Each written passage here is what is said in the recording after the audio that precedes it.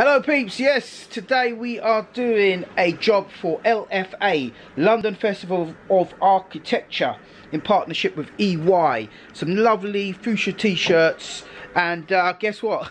we got a bit of a dilemma, our flipping uh, dryer, our flash dryer has broken down.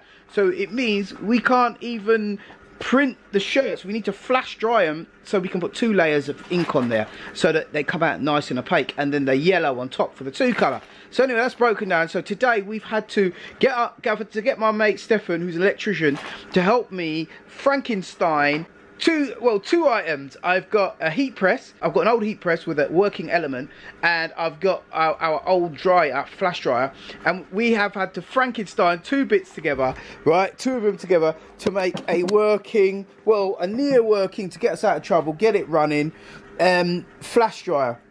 And as you can see the, the old workhouse shell was there and we've taken out the old heating element and we've done some modifications to it right and we've put the old heat press platen which is an Adkins heat press platen underneath and join them together. And it's working okay. The fans are not working at the back. But as you can see we were able to get 100 t-shirts done.